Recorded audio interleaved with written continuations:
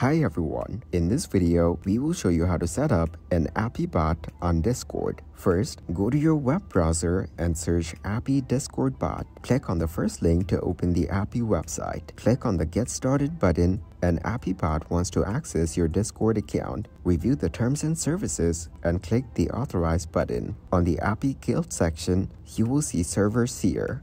Click on the Invite button right next to the server's name.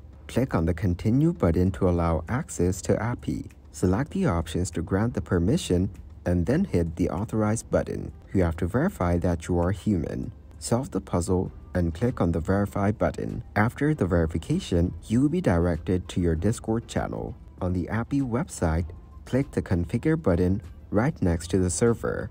You will be directed to the Discord website. Select the Discord server on the left side.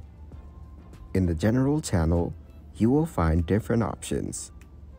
Click on the inbox icon on the top to read the messages. Go to the Show Member icon left in the search bar. A side menu will appear and click on the Appy option. Click on the Add App button in the left pop-up menu.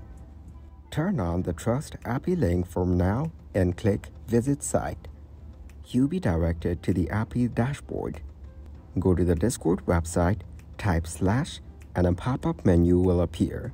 To create a giveaway, select the slash giveaway create option. In the search bar, a few buttons will be displayed. For instance, type the prize name to Discord Nitro, duration, and total winners.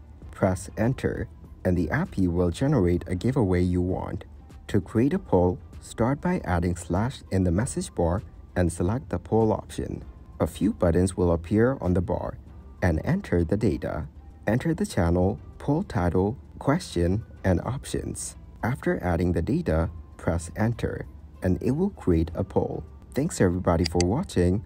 Make sure to like this video and subscribe to the channel for more tutorials. Goodbye.